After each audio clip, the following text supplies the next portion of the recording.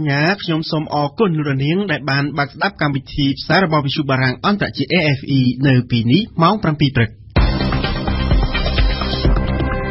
កម្មវិធីព័ត៌មានដោយវ៉ាសំណាប់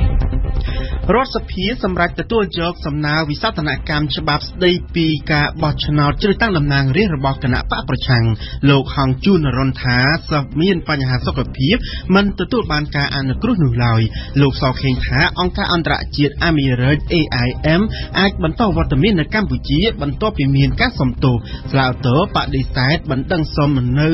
ក្រៅឃុំរបស់អតីតសង្ឃនៅក្នុងខេត្តបាត់ដំបងប្រធានាធិបតីបារាំងបង្កការភ្ញាក់ផ្អើលតាមរយៈឯកសារកំណត់ដំណាភាពនៃទូនីតិភរិយារបស់ខ្លួន ក្រុងវ៉ាស៊ីនតោនផ្អាកមួយរយៈពេលសិន ការចេញទឹកតការឲ្យពលរដ្ឋរុស្ស៊ី RFI សេចក្តីស្នើច្បាប់ស្តីអំពីវិសោធនកម្មច្បាប់ស្តីពីគណៈស្តីពីការបោះឆ្នោតជ្រើសតាំងតំណាងរាស្ត្រដែលស្នើឡើងដោយតំណាងរាស្ត្រគណៈបក្សសង្គ្រោះជាតិនៅព្រឹកថ្ងៃទី21ខែសីហាម្សិលមិញនេះត្រូវបានទទួលយកដោយគណៈកម្មាធិការអចិន្ត្រៃយ៍នៃរដ្ឋសភានិងបានសម្រេចប្រគល់ជូនគណៈកម្មការនីតិកម្មដើម្បីពិនិត្យនិងសិក្សាហើយធ្វើរបាយការណ៍ជូនគណៈកម្មាធិការអចិន្ត្រៃយ៍នៃរដ្ឋសភាវិញក៏ប៉ុន្តែគេនៅមិនទាន់ដឹងថាតើគណៈកម្មការជំនាញនឹងបើកការជជែកនៅពេលណាជាក់លាក់នៅឡើយទេយើងស្ដាប់សេចក្តីរាយការណ៍របស់ញឹមសុផល លោកសុនឆៃប្រធានក្រុមតំណាងរាស្ត្រគណៈបកសង្គ្រោះជាតិបានស្វាគមន៍ដល់គណៈកម្មាធិការអចិន្ត្រៃយ៍រដ្ឋសភា ដែលបានសម្រេចបញ្ជូនសេចក្តីស្នើវិសោធនកម្មស្តីពីច្បាប់បោះឆ្នោតជ្រើសតាំងតំណាងរាស្ត្រទៅកាន់គណៈកម្មការជំនាញគឺគណៈកម្មការនីតិកម្មនិងយុតិធធនៃរដ្ឋសភាលោកសុនឆៃបញ្ជាក់ថាគឺជានីតិវិធីត្រឹមត្រូវដែលគណៈកម្មាធិការអចិន្ត្រៃយ៍មានទួនាទីបញ្ជូនសេចក្តីស្នើច្បាប់ ឬសេចក្តីព្រាងច្បាប់ទៅគណៈកម្មការជំនាញការសម្រេចនេះបានធ្វើឡើងបន្ទាប់ពីអ្នកតំណាងរាស្ត្រគណៈបកសង្គ្រោះជាតិប្រមាណជាង30រូបកាលពីថ្ងៃទី11ខែសីហាកន្លងទៅ បានដាក់លិខិតទៅកាន់ប្រធានរដ្ឋសភាលោកហេងសំរិនក្នុងគោលបំណងចង់ឲ្យមានការកែប្រែមាត្រាចំនួន3ធំធំនៃច្បាប់ស្តីពីការបោះឆ្នោតជ្រើសតាំងតំណាងរាស្ត្រដើម្បីឲ្យប្រជាពលរដ្ឋខ្មែរនៅក្រៅប្រទេសអាចចូលរួមបោះឆ្នោតបានក៏ប៉ុន្តែទាំងអគ្គលេខាធិការរដ្ឋសភា ទាំងគណៈបកប្រឆាំងនៅមិនទាន់ដឹងថាសេចក្តីស្នើច្បាប់ស្តីពីវិសោធនកម្មច្បាប់ស្តីពីការបោះឆ្នោតជ្រើសតាំងតំណាងរាស្ត្រនេះនឹងត្រូវគណៈកម្មការជំនាញបើកកិច្ចប្រជុំនៅពេលណានៅឡើយទោះយ៉ាងណាលោកសុនឆៃតំណាងឲ្យអ្នកតំណាងរាស្ត្រហត្ថលេខីនៃគណៈបកសង្គ្រោះជាតិ ឲ្យដឹងថាអ្វីដែលជាការកត់សម្គាល់ថាតើសំណើរបស់លោកត្រូវបានគណៈកម្មការពាក់ព័ន្ធយកទៅពិចារណាឬទាត់ចោលនោះលោកសង្ឃឹមថារដ្ឋសភានឹងធ្វើទៅតាមនីតិវិធីពោលគឺគណៈកម្មការពាក់ព័ន្ធរួមមានគណៈកម្មការជំនាញត្រូវអញ្ជើញអ្នកស្នើធ្វើវិសោធនកម្មច្បាប់ទៅពិភាក្សាគ្នាដោយមិនត្រូវសម្រេចទាត់ចោលមិនបន្តនីតិវិធីនោះទេ សូមរំលឹកថាកាលពីដើមខែសីហាតំណាងរាស្ត្រគណៈបកសង្គ្រោះជាតិចំនួន33រូបបានចុះហត្ថលេខាលើលិខិតមួយផ្ញើជូនលោកហេងសំរិនប្រធានរដ្ឋសភាដោយយោងទៅលើប្រវត្តិនៃការបោះឆ្នោតនៅកម្ពុជាចាប់តាំងពីឆ្នាំ1993យោងទៅលើរដ្ឋធម្មនុញ្ញមាត្រា33មាត្រា34ថ្មី មាត្រា35ដែលក្នុងន័យថា ប្រជាពលរដ្ឋខ្មែរដែលកំពុងធ្វើការឬរស់នៅឯបរទេសត្រូវតែទទួលបានសិទ្ធិបោះឆ្នោតតាមរយៈការធ្វើវិសោធនកម្មច្បាប់ស្តីពីការបោះឆ្នោតជ្រើសតាំងតំណាងរាស្ត្រដែលប្រកាសដោយព្រះរាជក្រមចុះថ្ងៃទី26ខែមីនា ឆ្នាំ2015 នៅថ្ងៃនៃទី1នៃដំណើរការប្រឡងសញ្ញាបត្រមធ្យមសិក្សាទុតិយភូមិឬក៏ប្រឡងបាក់ឌុបនោះបានដំណើរការនៃការប្រឡងគឺមានភាពល្អប្រសើរក៏ប៉ុន្តែក្នុងនោះសិស្សចំនួន21នាក់មានបញ្ហាសុខភាពប្រឈមនឹងបញ្ហានេះក្រសួងអប់រំយុវជននិងកីឡាគ្មានគោលការណ៍អនុគ្រោះចំពោះពួកគេនោះឡើយតែផ្ទុយទៅវិញក្រសួងបានជំរុញឲ្យគេខិតខំប្រឹងប្រែងរៀនសូត្រនិងថែរក្សាសុខភាពដើម្បីចូលរួមប្រឡងនាឆ្នាំក្រោយនេះបើតាមការគូបញ្ជាជារបស់លោកហងជួនណារុនរដ្ឋមន្ត្រីក្រសួងអប់រំយុវជននិងកីឡាសូមបញ្ជាក់ថានៅថ្ងៃនេះគឺជាថ្ងៃទី2និងជាថ្ងៃចុងក្រោយនៃការប្រឡងបាក់ឌុបឆ្នាំនេះយើងស្ដាប់ស្គ្រីនរ៉េការបស់អេងកំហុង លោករដ្ឋមន្ត្រីបានបញ្យល់ថាបើកាលណាមានគោលការណ៍អនុគ្រោះចំពោះសត្វដែលមានបញ្ហាសុខភាពគឺពួកគេអាចយកបញ្ហាសុខភាពធ្វើជាមូលហេតុប្រឡងមិនកើតដើម្បីទទួលបានការជាប់ដោយស្វ័យប្រវត្តិតែក្នុងចំណោមបេក្ខជនមានបញ្ហាសុខភាពចំនួន21នាក់នេះគឺ2នាក់ប្រឡងបានធម្មតាវិញក្រៅតែពីបញ្ហាសុខភាពរបស់បេក្ខជនហើយដំណើរការប្រឡងថ្ងៃដំបូងជួបភាពមិនប្រក្រតីចំនួន6ករណីផ្សេងទៀតចម្លងពីសំណៅដើមចំនួន2ករណីលួចចម្លងគ្នា4ករណីដំណោះស្រាយចំពោះបញ្ហានេះក្រសួងអប់រំនឹងដោះស្រាយដោយផ្អែកទៅតាមច្បាប់អប់រំដែលមានស្រាប់ក៏មានដែរបញ្ហាកើតមានចំពោះគ្រូអនុរិយដែលអនុវត្តខុសបទបញ្ជានាអំឡុងពេលប្រឡងនោះគឺការដោះដូរគ្នាមកប្រចាំការដែលចំណុចនេះក្រសួងមើលឃើញថាបានធ្វើខុសនឹងវិន័យអប់រំបើតាមការកោតសម្គាល់ពីលោកហងជុនរ៉ុនបេក្ខជនប្រឡងនៅឆ្នាំនេះពួកគេបានកាត់បន្ថយខ្លាំងមែនទែននៅក្នុងការយកសំណើឯកសារឬទូរស័ព្ទដៃចូលបន្ទប់ប្រឡងដែលចំណុចនេះលោកចាត់ទុកថាដំណើរការប្រឡងពីមួយឆ្នាំទៅមួយឆ្នាំ មានភាពល្អប្រសើរដែលឡែកចំពោះបញ្ហាអាកាសធាតុវិញលោកហងជួនណារិនបន្តអះអាងថាមិនបានរំខានដល់ដំណើរការប្រឡងទេទោះជានៅខេត្តខ្លះមានភ្លៀងធ្លាក់ចំថ្ងៃនេះក៏ដោយពាក់ព័ន្ធនឹងបញ្ហាអាកាសធាតុនេះដែរក្រសួងអប់រំបានអនុគ្រោះប្រសិនបើភ្លៀងធំគណៈមេប្រយោគប្រធានមណ្ឌលនិងអនុរិយ អាចពន្យាពេលចែកក្រដាស់វិញ្ញាសារយៈពេល30នាទីក្រោយសម្លេងជួងចាប់ផ្ដើមប៉ុន្តែមិនអនុញ្ញាតឲ្យពន្យាពេលប្រមូលវិញ្ញាសារនីមួយនីមួយឡើយចំណែកបេក្ខជនអាចទៅយឺតយ៉ាងយូរ15នាទីក្រោយជួងចាប់ផ្ដើមវិញ្ញាសារសរសេរសូមបញ្ជាក់ថាថ្ងៃទី1នៃការប្រឡងនេះបេក្ខជន1500នាក់បានអវត្តមានពេលប្រឡងភាគច្រើននៃអ្នកអវត្តមាននេះពួកគេគឺជាបេក្ខជនស្វ័យរិនចំនួនអវត្តមាននេះគឺមានការថយចុះខ្លាំងបើធៀបនឹងការប្រឡងចំនួនកំណែទម្រង់ដំបូងឆ្នាំ2014ដែលមានបេក្ខជនអវត្តមានរហូតដល់ទៅជាង5000នាក់ ដែលឡែកតកតងទៅនឹងអនាគតរបស់អង្គការសម្ព័ន្ធមិត្តរីអន្តរជាតិ AIM របស់សហរដ្ឋអាមេរិកវិញត្រូវបានលោកសខេងរដ្ឋមន្ត្រីក្រសួងមហាផ្ទៃបានអះអាងថាត្រូវបានប្រមុខរដ្ឋាភិបាលកម្ពុជាលោកហ៊ុនសែនបានសម្រេចឲ្យបន្តមានវត្តមាននៅក្នុងប្រទេសកម្ពុជាបន្តទៅទៀតការសម្រេចបែបនេះគឺបន្ទាប់ពីនាយកប្រតិបត្តិអង្គការមិត្តរីអន្តរជាតិ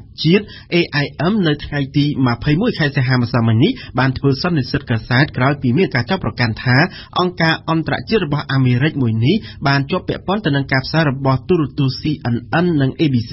ដែលបានធ្វើឲ្យប៉ះពាល់ដល់ប្រទេសកម្ពុជាហើយនៅក្នុងឱកាសនោះនាយកអង្គការនេះក៏បានសុំទោសជាសាធារណៈចំពោះប្រជាពលរដ្ឋកម្ពុជាផងដែរយើងស្ដាប់សេចក្តីរាយការណ៍របស់ជុកសុភា លោកដូនប្រូស្ទ័របានសម្ដែងការសោកស្ដាយនិងសុំទោសចំពោះការផ្ដល់បទសម្ភាសន៍ឲ្យទូរទស្សន៍ CNN ដែលបានចុះផ្សាយខុសពីការពិតដែលដាក់ថាក្មេងៗរងគ្រោះនោះជាជនជាតិខ្មែរលោកបន្តថារឿងរ៉ាវទាំងអស់កើតពីទូរទស្សន៍ CNN ព្រោះពួកគេបានដឹងរួចជាស្រេចនៅពេលសម្ភាសន៍ដោយក្មេងៗនោះនិយាយជាភាសាវៀតណាម ក្នុងសន្និសីទនោះដែរលោកនាយកប្រតិបត្តិរូបនេះបានបញ្ជាក់ថាក្រោយពីកើតមានបញ្ហាលោកក៏បានសហការជាមួយក្រសួងមហាផ្ទៃនិងក្រសួងការបរទេសក្នុងការស៊ើបអង្កេតទៅលើបញ្ហានេះលោកក៏បន្តថាអង្គការរបស់លោកធ្វើការពាក់ព័ន្ធនឹងបញ្ហាមនុស្សធម៌ហើយបានចុះបញ្ជីការត្រឹមត្រូវជាមួយក្រសួងការបរទេសហើយក៏បានចុះអនុសារណៈយោគយល់គ្នាជាមួយក្រសួងអប់រំក្រសួងសង្គមគិច្ចនិងអគ្គស្នងការនគរបាលជាតិ ពាក់ព័ន្ធនឹងបញ្ហានេះកាលពីថ្ងៃទី1សីហានាយករដ្ឋមន្ត្រីកម្ពុជាលោកហ៊ុនសែនបានប្រតិកម្មទៅនឹងការផ្សាយរបស់ទូរទស្សន៍ CNN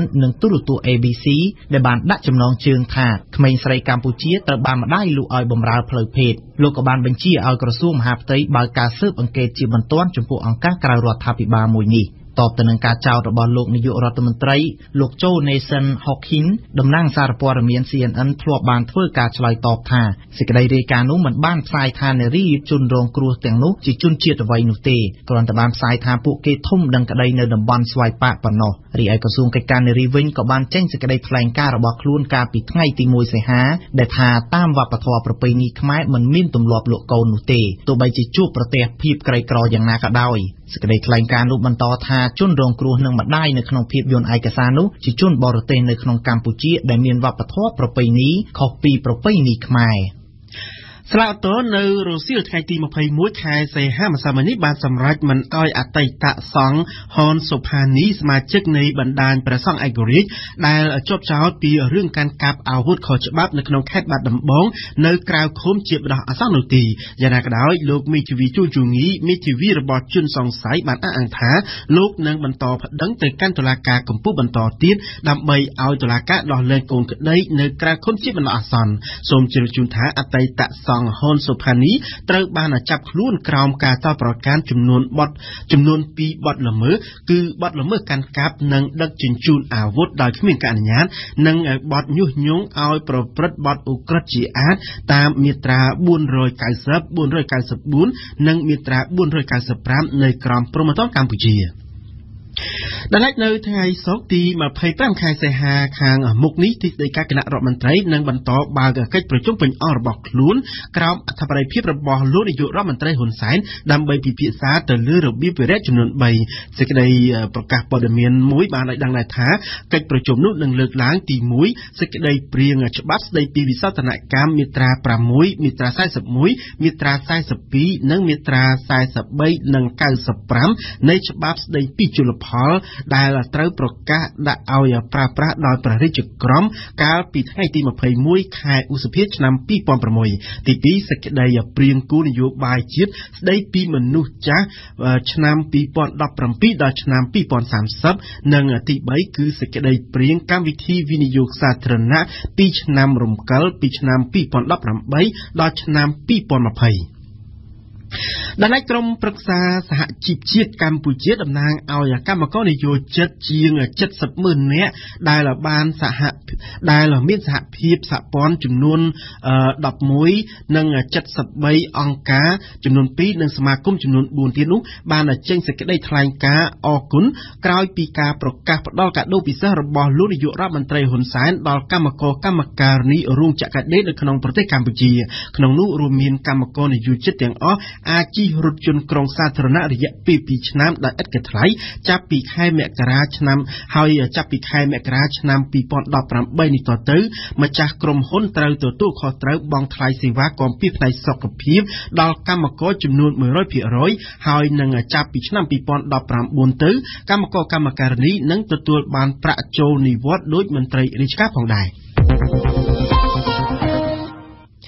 យើងសូមងាកមកជម្រាបជូនពីព័ត៌មានអន្តរជាតិវិញដោយផ្ដោតនិយាយអំពីវិមានប្រធានាធិបតីប្រទេសបារាំងជាធម្មតាទេតំណែងជាលោកជំទាវភរិយារបស់ប្រធានាធិបតីបារាំងគឺមិនមានអ្វីជាផ្លូវការទេហើយក៏គ្មានអត្ថបទច្បាប់ណាមួយដែលបានចាញ់ឲ្យបានជាលាយលក្ខណ៍អសរជាក់លាក់ណាផងដែរក៏ប៉ុន្តែជាការភ្ញាក់ផ្អើលដែរដែលលោកប្រធានាធិបតីវ័យក្មេងរបស់ប្រទេសបារាំងអេម៉ានូអែលម៉ាក្រុងទើបតែបានសម្រេចផ្សព្វផ្សាយឯកសារមួយជាសាធារណៈដែលជាឯកសារនោះមានកំណត់អំពីទូនាទីការងាររបស់លោកស្រីភរិយាលោកអេម៉ានូអែលម៉ាក្រុង តែយ៉ាងណាមិញវិមានប្រធានាធិបតីបារាំងបានអះអាងថាឯកសារនោះពុំមានតម្លៃគតិយុត្តផ្លូវច្បាប់នោះឡើយហើយការធ្វើបែបនេះគឺដើម្បីបង្ហាញពីដំណាភាពតែប៉ុណ្ណោះយើងស្ដាប់សេចក្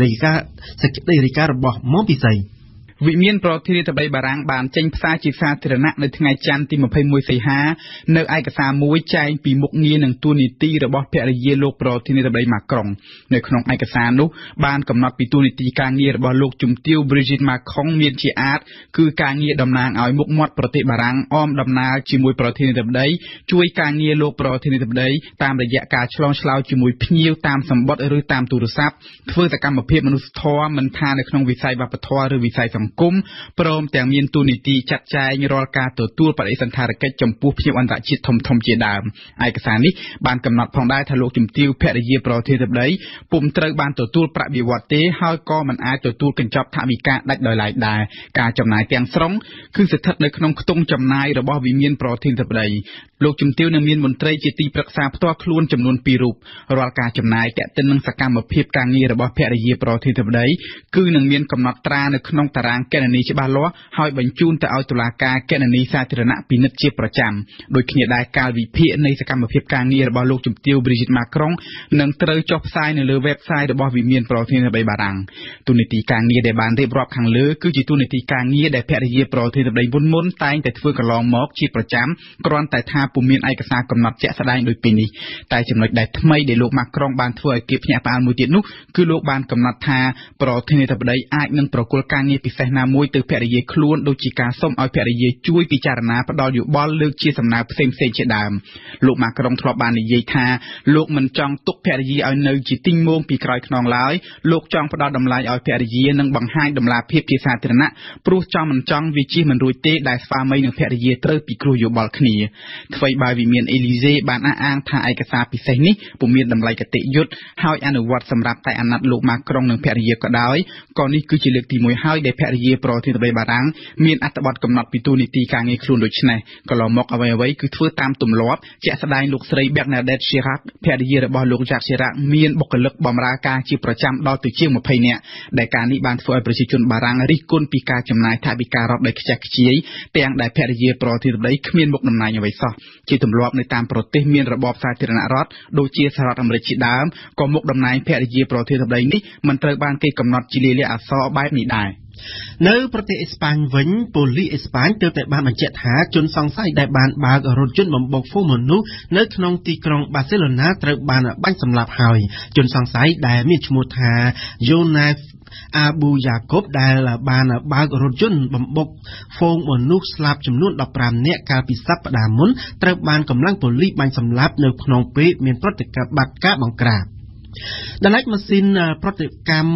នុយក្លេអ៊ែរដំបូងរបស់ប្រទេសអេមីរ៉ាត់អារ៉ាប់រួមនឹងដំណើរការនៅឆ្នាំ2018ខាងមុខនេះហើយក្រុមវិស្វករនិងអ្នកជំនាញកំពុងតែធ្វើការយ៉ាងមមាញឹកដើម្បីពន្លឿនកម្មវិធីនុយក្លេអ៊ែរនេះក៏ប៉ុន្តែជាកម្មវិធីនុយក្លេអ៊ែរស៊ីវិលដើម្បីទាញយកអគិសនីមកប្រើប្រាស់តែប៉ុណ្ណោះក្រុងអាប៊ូដាប៊ីគ្រោងនឹងមានម៉ាស៊ីនប្រតិកម្មនុយក្លេអ៊ែរដល់ទៅ4ឯណោះដើម្បីប្រើប្រាស់កម្មវិធីនុយក្លេអ៊ែរស៊ីវិលរបស់អ៊ីមីរ៉ាត់អារ៉ាប់រួមកំពុងតែលេចរូបរាងចំពេលដែលស្ថានភាពតំបន់តានតឹងដោយសារតែបញ្ហានុយក្លេអ៊ែរអ៊ីរ៉ង់យើងនឹងវិលមកលំអិតព័ត៌មាននេះតាមរយៈបទអន្តរាគមរបស់ព្រំសនុសូលីណានៅក្នុងនីតិទស្សនៈព្រឹត្តិការណ៍ពិភពលោករបស់យើងនាពេលបន្តិចទៀតនេះ